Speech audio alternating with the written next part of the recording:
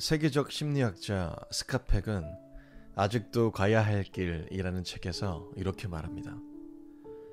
문제를 대면하는 데 따르는 정당한 고통을 회피하는 것은 우리가 그 문제를 통해 가질 수 있는 성장도 회피하는 것이다.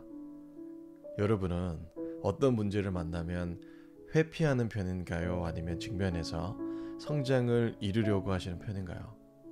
성장을 위해선 고통과 고난을 통한 내면의 깨어짐을 통과해야 하는데 그 깨어짐 없이 성장할 수 있는 방법이 있을까요?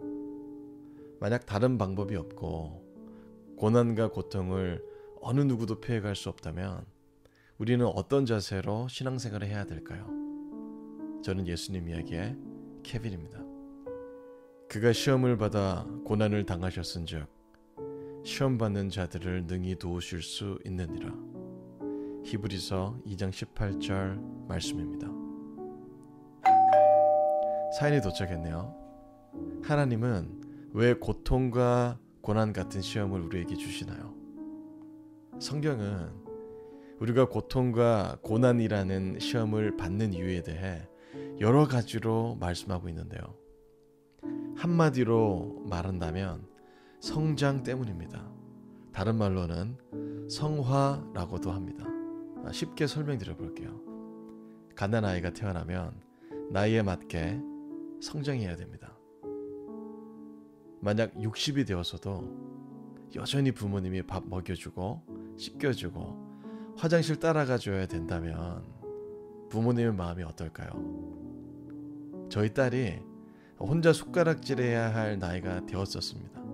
그래서 혼자 숟가락질해서 밥을 먹도록 해주었어요. 처음엔 다 묻히면서 잘 먹지를 못하더라고요. 그래도 아이가 성장할 수 있도록 하려면 아이에겐 어려움과 고통이 따르겠지만 안 도와주어야 했습니다. 처음엔 아이가 힘들어했지만 결국 점점 좋아져서 손가락에 힘도 생기고 밸런스도 잘 잡으면서 혼자 먹을 수 있도록 성장했습니다. 아이가 좀 더 커서는요. 저희가 호주에 살고 있기 때문에 영어만 사용하는 유치원에 처음 보냈어요.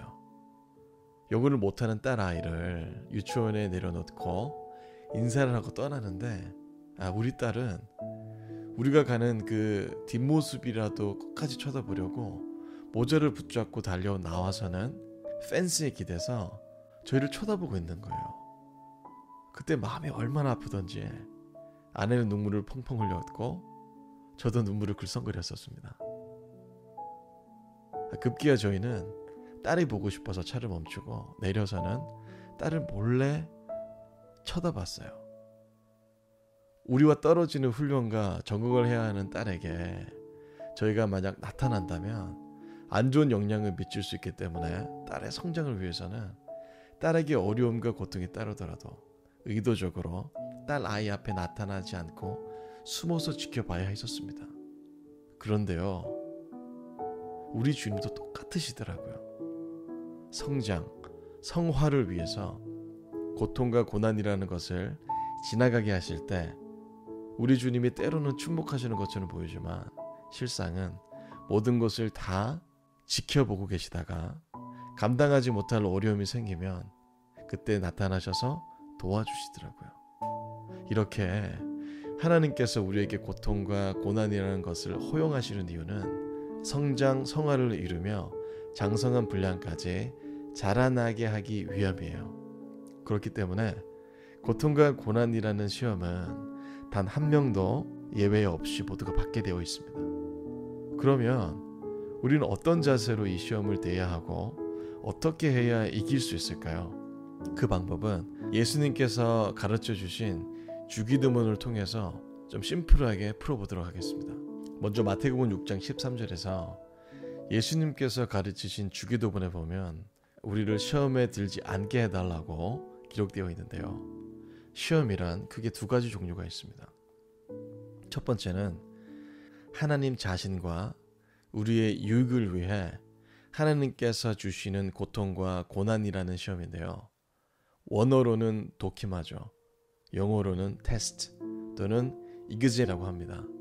두 번째는 우리를 죽이고 멸망시키기 위해서 마귀가 주는 시험인데요. 원어로는 페일라죠. 영어로는 temptation, 유혹입니다. 마태복음 6장 13절에서 예수님은 우리의 모든 고통, 어려움이라는 단어를 마귀가 주는 시험이란 단어로 사용하셨고요. 우리가 마귀가 주는 그 시험에 들지 않도록 하나님께 기도하라고 가르치셨습니다. 그런데 여기서 잠시만요. 여기에 나온 기도하라는 원어적 의미가 무엇인지 알고 계셨어요? 여기에 나온 기도는 가볍게 기도하는 수준이 아닙니다. 아주 간절하고 적극적인 수준으로 기도하라는 거예요. 예를 들어서 우리가 적에게 붙잡혀서 밧줄에 꽁꽁 묶여버렸고 곧 죽게 될 상태가 되었다고 가정해 볼게요. 그러면 구해달라고 아주 간절하고 적극적으로 기도하지 않겠어요? 바로 그런 수준에서 기도하라는 거예요. 그럼 왜 그렇게까지 기도하라고 하셨을까요? 이유는 아주 단순합니다. 우리가 하나님의 도움 없이 우리 힘으로 사단과 싸우면 절대 이길 수 없기 때문입니다. 그래서 예수님은 우리 힘으로 싸워서 이기는 방법을 가르치시지 않으셨고요.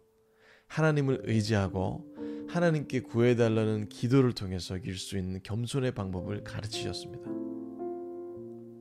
여러분은 아, 시험이 올 때 어떻게 싸우고 계셨어요?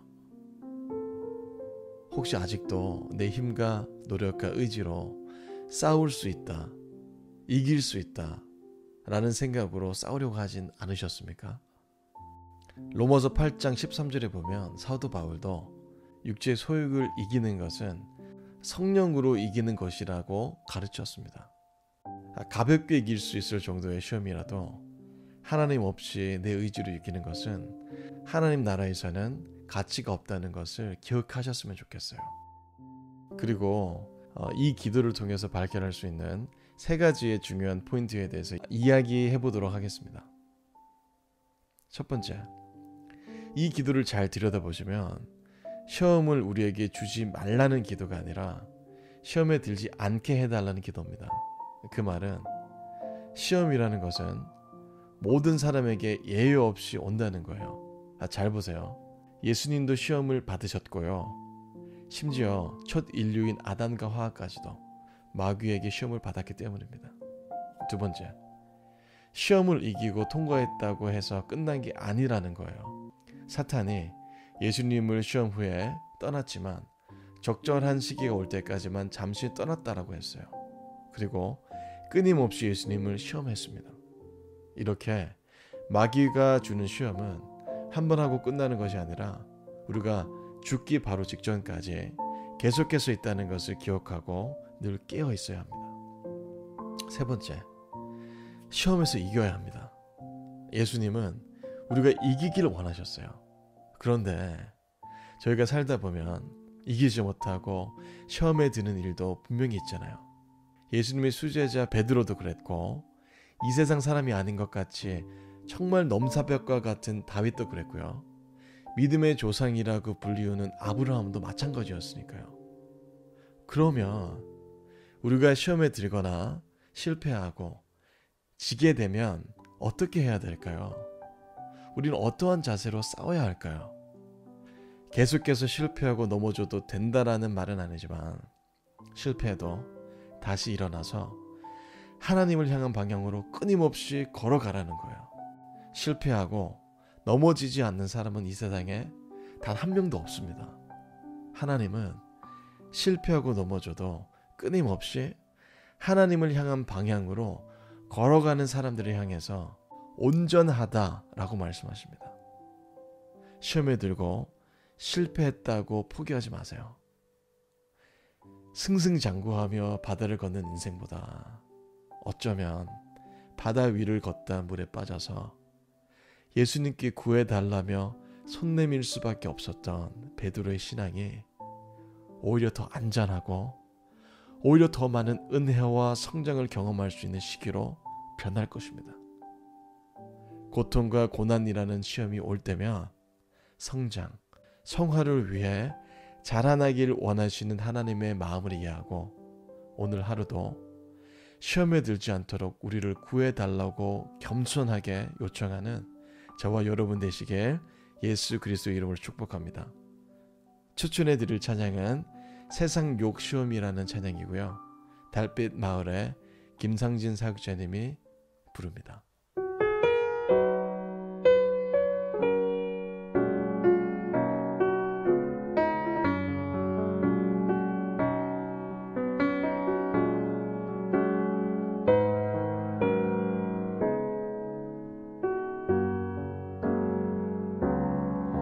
세상의 유혹 시험이 내게 몰려올 때에 나의 힘으론 그것들 모두 이길 수 없네. 거대한 폭풍 가운데 위축된 나의 영혼 어찌할 바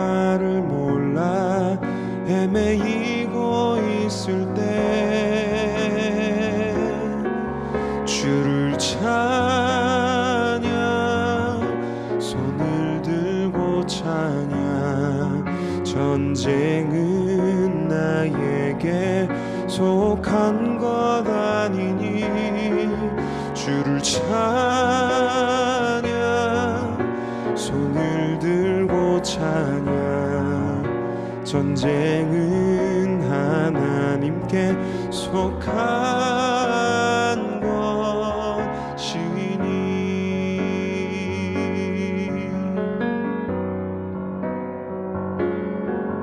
거짓과 속임수로 가득 찬 세상에서 어디로 갈지 몰라 머뭇거리고 있네.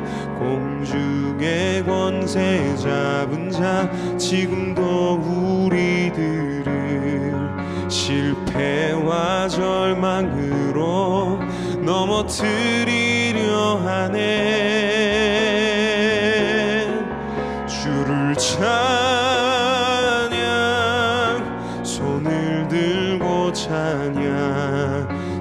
전쟁은 나에게 속한 것 아니니 주를 찬양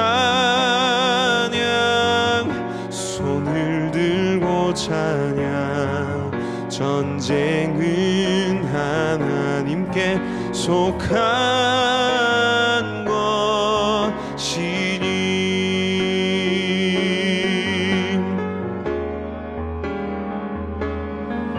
주위를 둘러보면 아무도 없는 듯 믿음의 눈을 들면 보이는 분 계시네.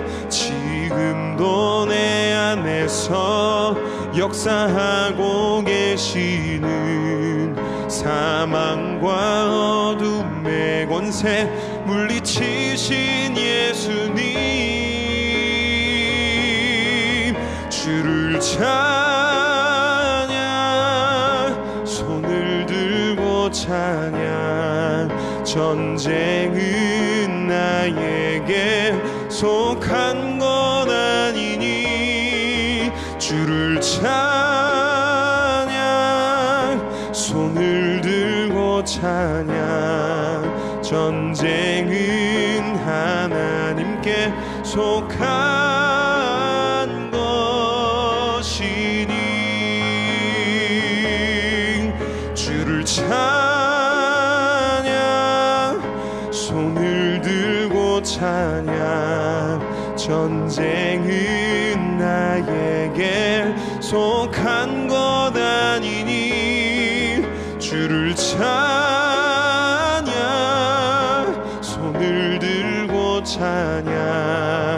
전쟁은 하나님께 속한 것이니 전쟁은 하나님께 속한 것이니